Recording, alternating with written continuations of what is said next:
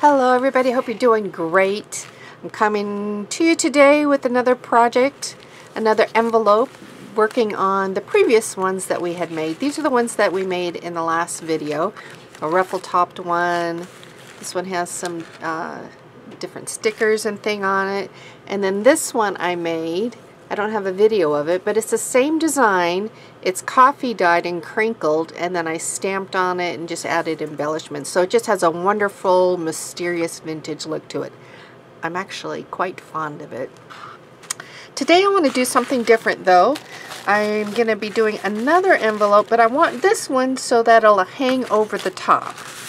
So come along and let's get going. This is the same cut in the same way that we did the other one.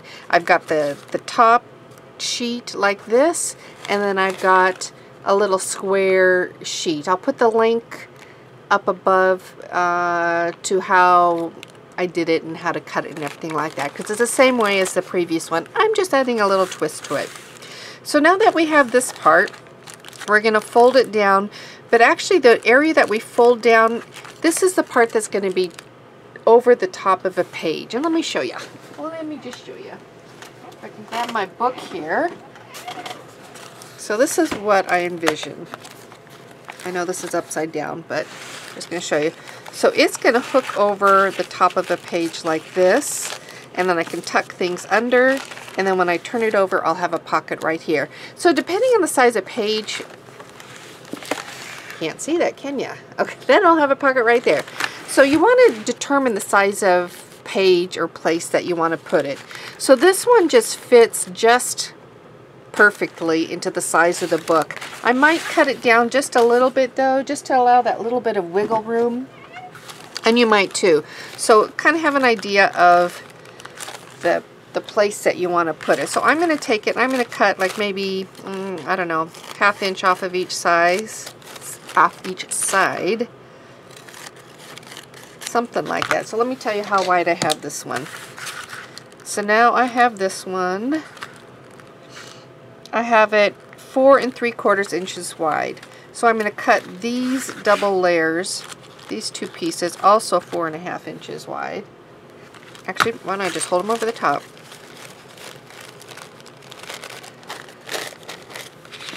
So my arm is still broken in the sling, and so I'm you know, I'm, I'm making shortcuts so that I don't have to pull everything out quite as much.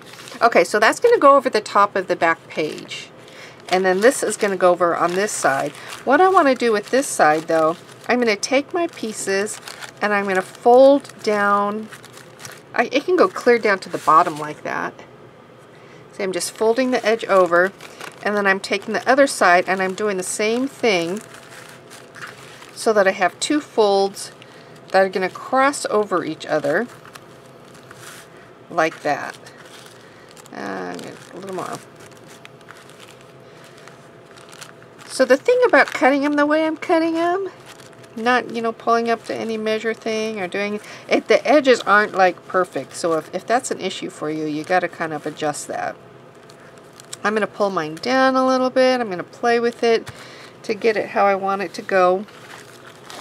I think I'm going to turn this one down just a little bit more to get that angle more towards the middle.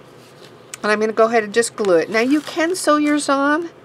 I'm gluing mine just because that's what I've got right here. That's what I can do right here.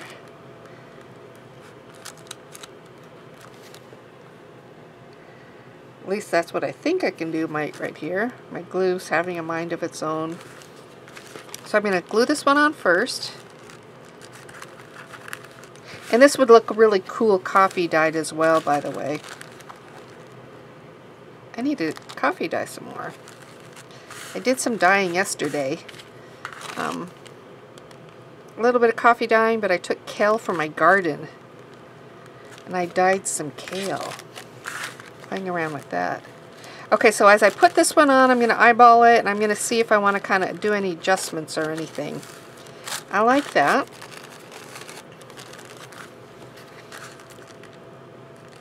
Make sure I have glue all the way up. I'm going to turn it over. I can put a fun little edge. I'll, I'll kind of show you. I can do like a little scalloped edge with the hangover that I have here. Or I could just cut it flat out. That's the little edge. It makes it just kind of pretty. So on the other side, what I'm going to prep, I'm going to do that little scallop top, just like I did the other one. Uh, let's see. I'll put the link to the other one so you can see that as well. For this one, since I made it smaller, I'm going to just trim off a little bit of it to make it so it's more rounded rather than that than that uh, straight edge. So I'm going to put my first layer on, put a little glue on each side, and I'm going to create kind of a ruffle just by smushing it up. Just playing around with it until I get it where I feel good about it. That's good. And then I want another layer, so I'm going to grab another piece of leftover. Let's see, which one do I want? Oh, I like this one. Okay. So let me cut it off and make sure it's the right size. That's about how high. So I'm going to cut off a little bit from the top so that it's not too long and covers up my other ruffle. So once again, I'm just going to lay a line of glue here at the top.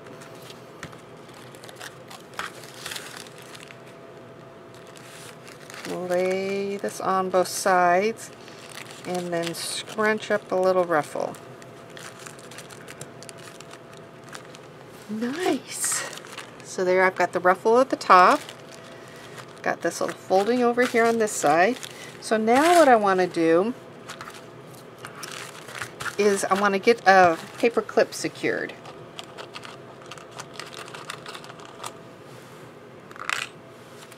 So to do the paper clip, I'm going to add a couple different pieces of paper with it.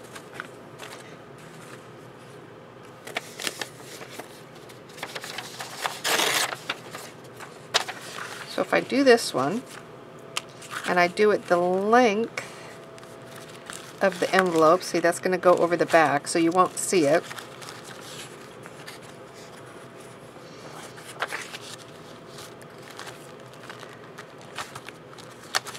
You will see that little part there though, so I'm going to put one more little piece. So I'm going to first glue that and then glue that. Okay, so I've got my paper clip. It's going over the top here of the page. So this little piece of paper I'm going to be gluing on to the back side here of my envelope. But first I want to glue a little piece of my paper clip right here. And the reason I'm doing that is on the other side it'll show through. So it's like that. So now I'm going to glue that down. So glue it all the way over. Make sure that's glued down well.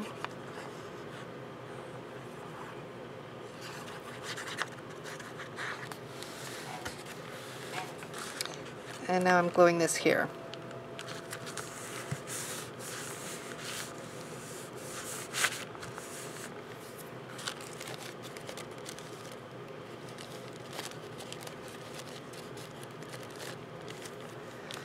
Okay. So on this side right here, this is the side, okay, let me show you. Like,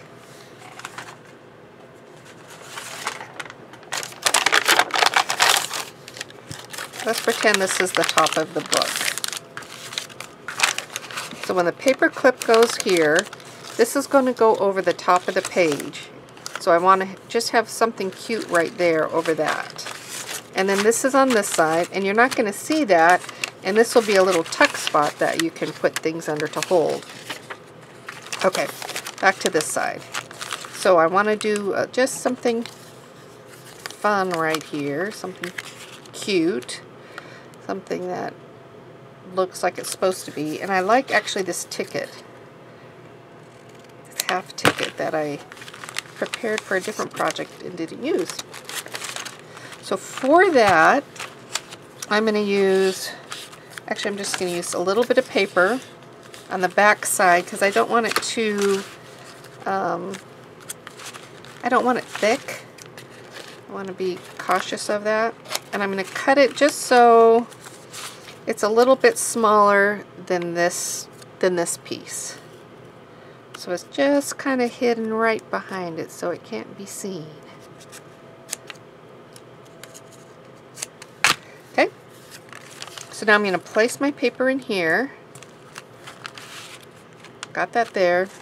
And I'm going to go ahead and glue on my ticket that I prepared. So as I do this, I need to make sure I don't get glue too far to the other side that it's going to stick to the paper down here. There we go.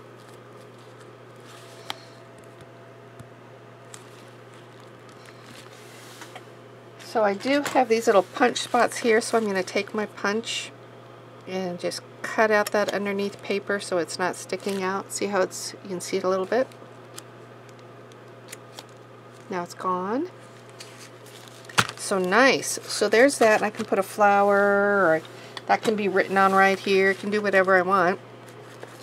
But I've got that side with my ruffle. I want to decorate the ruffle. So for that I'm going to take a, just a little piece of crepe paper. And I'm going to cut it, I think, in half.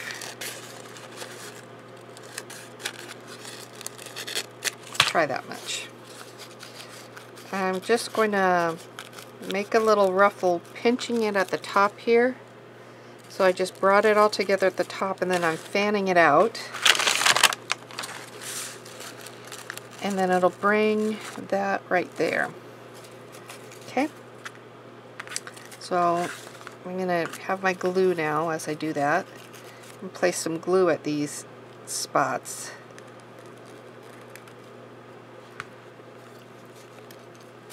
to hold it together.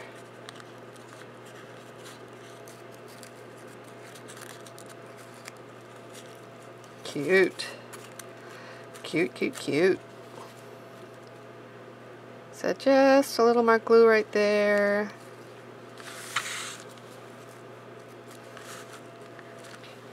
Then it's going to go there. So I'm going to put some glue on the back here. And I'm going to glue it down. I'm just going to glue along that, the top line.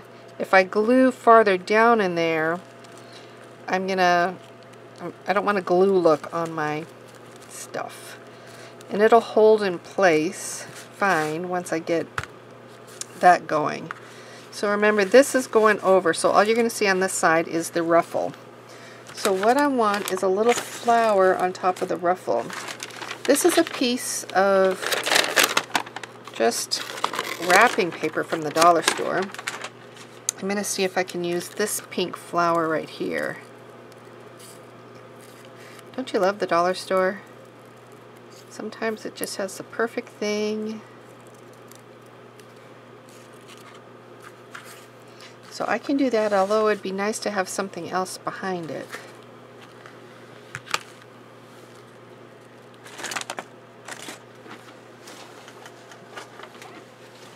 Get my trusty little cheesecloth. Put that there.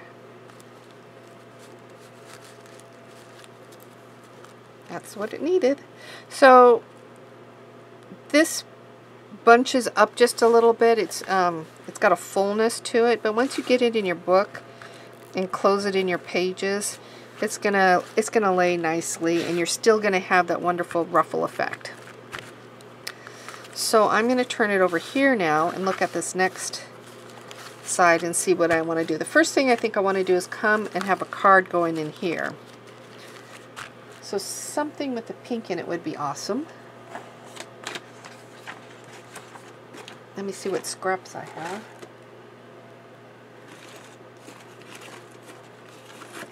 Oh, this one would be perfect. Okay, that one goes there.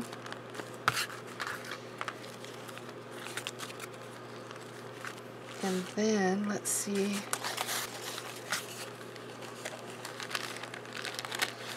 Just going to see what it looks like with this folded into the inside instead of the outside. I like that. It gives it a cleaner look. So now I have a pink rosette I want to place right there. And then maybe with a few pieces, ooh, this little scrap of green would be nice. I'm going to cut it, I think.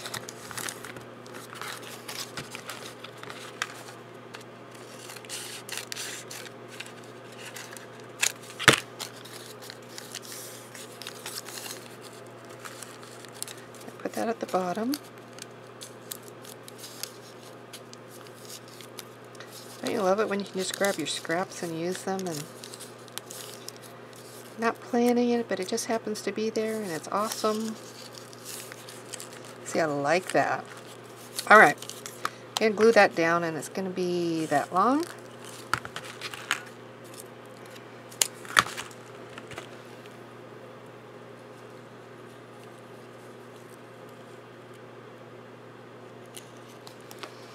Here we go.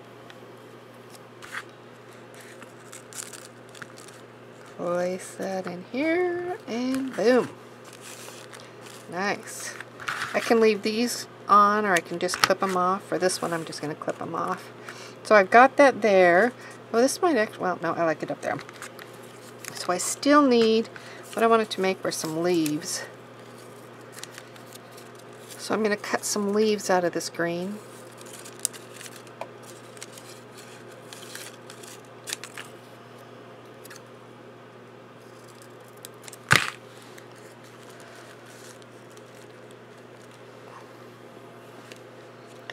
And I'm going to put a little glue.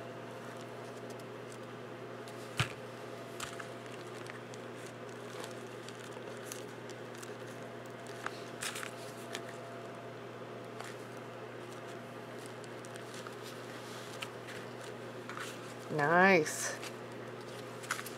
So I feel like after I did that, like I almost should have some green in here too. But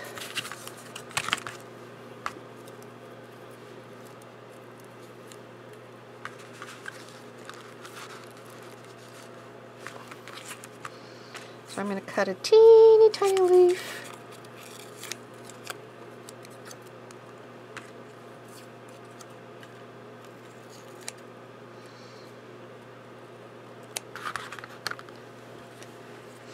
Okay. Put a dab of glue there. A little bit. Nice. I just like it with that just just extra color there, just enough. It just kind of oh, brings it together nicely. Oops. Sticking in my finger. Wow, there we go. Okay.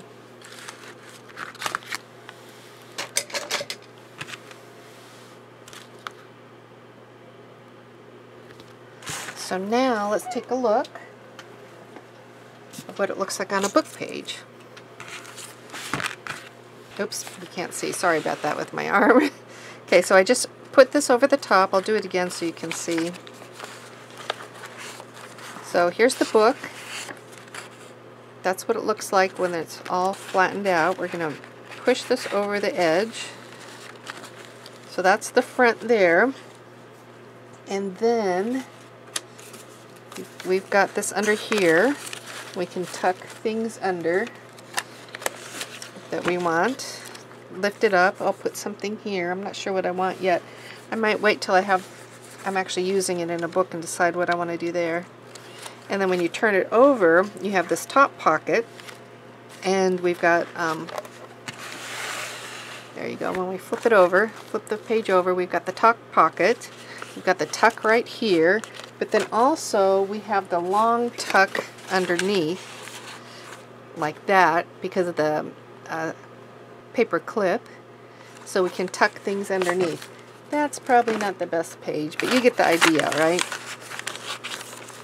Tuck something under, and tuck something over. You have a nice little tuck spot. Anyway, so that's my envelope for today. It's a little variation on the previous ones. So I hope that you enjoyed it. Something a little bit different. Hope you have a great day, and I'll talk with you later. Bye.